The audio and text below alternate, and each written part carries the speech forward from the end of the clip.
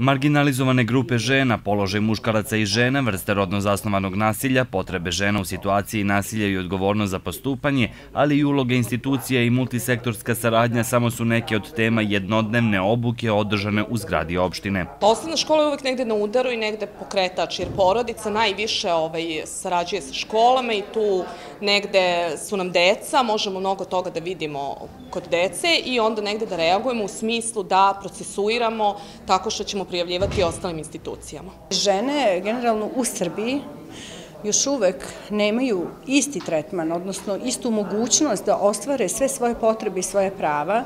Govorimo o obrazovanju, o zapošljavanju, o kulturnim, političkim, građanskim pravima. Imaćemo šansu da radimo na umrežavanju na ojačavanju lokalnoj zajednici i na povećavanju resursa svih nas kako bismo pravovremeno informisale sve osobe koje su u potrebi na koji način, kada i kako da se zaštite od bilo kog oblika nasilja.